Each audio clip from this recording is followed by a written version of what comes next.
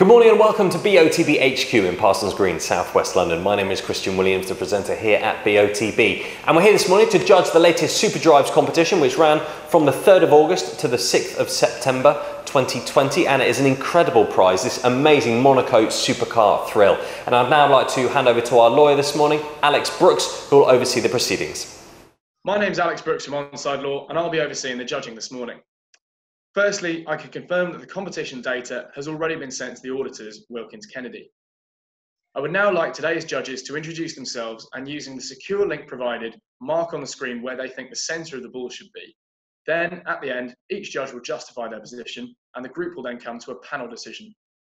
Uh, good morning. My name is Matt Cannon. I'm a senior county referee and footballer, and I played yesterday. Hi, my name is Kieran Fitzgibbon. I've played football for more than 30 years and am now a senior county referee. Hi, my name is Aramin Donka. I've been involved in football for over 30 years, first as a player and then as a referee.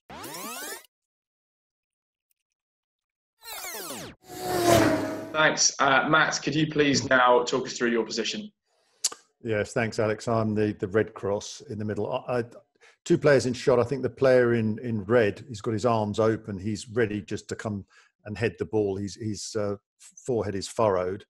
And I think he's looking intently straight out from, from his head uh, towards his hand for the ball. And the player in, in, in green and white, I think he's looking over his shoulder and doesn't seem to be contesting for the ball, but just sort of more contesting the man. And I've cross-referenced their two eye lines, and I've put the centre of the ball where my red cross is. Okay, thank you. Uh, next, Kieran, could you please talk us through your position? Thanks, Alex. Yes, we've got the two players in shot. Uh, the player in red and the player in green are both trying to get towards the ball. I think the player in green is right up against the player in red, trying to challenge, but I think the player in red is going to get to the ball first. I think he's going to try and head the ball. We can see a little bit of white um, beneath the pupils of his eyes. Um, so I think he's imminently about to make contact. And I think the player in green is just challenging, trying to put him off making the header. Um, I've taken the eye lines from both players. I think the player in red is looking just more or less horizontally across, and the player in green is looking downwards towards the ball, and that's why I place my cross where the green cross is. Thank you. And finally, Ari, could you please talk us through your position? Uh, yes, Alex. Um, well, I felt that the player in, in, in red is is leaning forward. He's definitely the one who's going going to play the ball, and his, his arms are open. Uh, he's protecting uh, his, his position over there and he's almost looking um, in horizontal, slightly, slightly, slightly lower than horizontal. The player in, in white and green, I don't feel that he's trying to to to play the ball on this one. He's looking, uh, he's quite tall. He's looking from above down, and he's moving his torso slightly to his left. And I feel that he's with his left arm, he will try to grab the player in in red prevent him to go further. I don't think he has any intention at all to play the, this ball because the ball he feel he feels that the, player in red is going to play it anyway. Um, but I felt that the ball should be slightly slightly further from from the crosses of my colleagues over there. Okay, thank you. Judges, please now come to a final panel decision. For your reference, the larger white cross is the calculated average of the three individual selections. Okay, bit of a spread, gents. Um,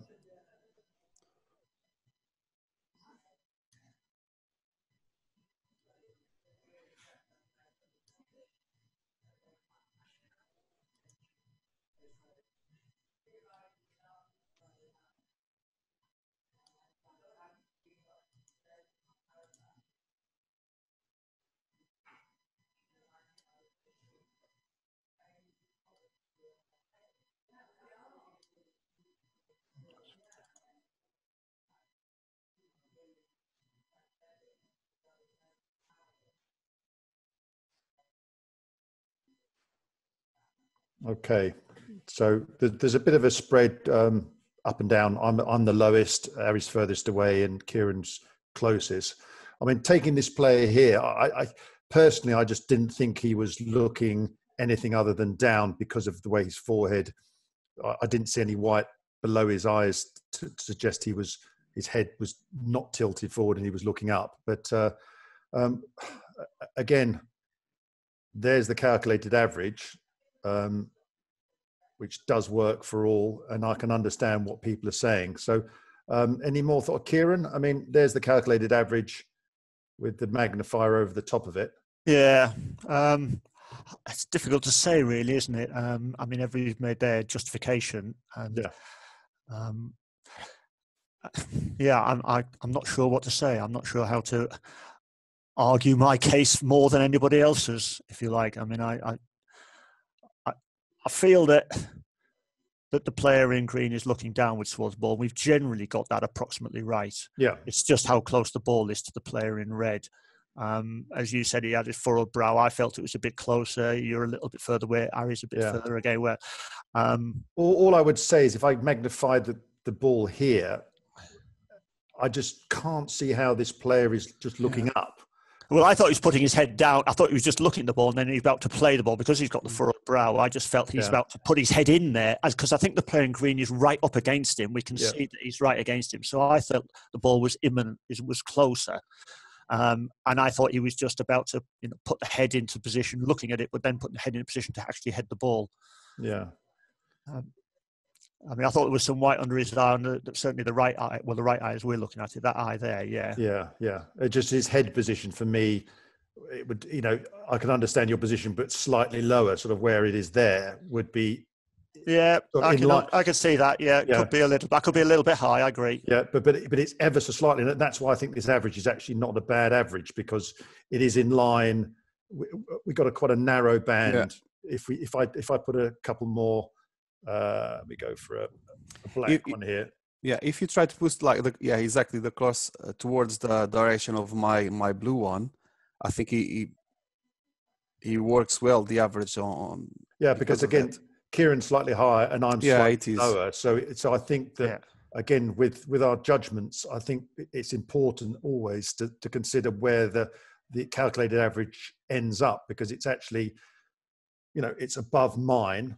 Yeah. It's more in line with Ari's, and it, it, it- it's a very very good spread. Um, Yeah, very and- good average with the spread that we've got, I think. And and to be honest, the the cross of Kieran, um, looking at at the player in green, uh, both eyes, he, he's he's struggled to to to look because he's he's looking above the shoulder, and I don't feel that his left eye is looking towards that direction. I think he's more uh, further away. Uh, if you that exactly that one, uh, I don't think I don't feel that he's looking uh, uh, that down. Yes, if, if so that again, if I put a cross through it, like that he, he- i think he he works uh, better than than uh, I mean, if I if I, for argument's sake, took Kieran out, I think again it moves. It, Yeah, it's in it's in the same. It's but it's in the same trajectory, and I, so I Yeah. think it's important that that the calculated average there actually works for all three of us. yeah I- I would I would rather it was there because I do feel that because they're im- the playing red is imminent about to play the ball that um, although I can see Ari's line being right being what he's saying, I just think he's a bit further away. I think the ball Yeah. would have to be closer for him to play the ball this quickly. Yeah. but then but then even even the if the ball would be that close to him his eyes i think he would start to slightly close them uh, because because of the proximity or, and and the impact that's normally the reaction of players have under Yeah. those circumstances but uh, because we are so uh, there's a, there's a disparity in, in the position i think the average works well Yeah, with the three choices, with this the ball there. Are we happy with that, Kieran? Yeah, I think so. I think we have to go with that. Yeah. Yeah. Okay. So Okay, thank you. If you're all happy then, uh, Matt, if you could please hit submit. thanks, Alex. Thank you very much, judges. The coordinates selected are 1592974. These coordinates will now be passed to Wilkins Kennedy to calculate the winner of the competition, and they will then inform BOTB. That concludes the judging process. Thank you.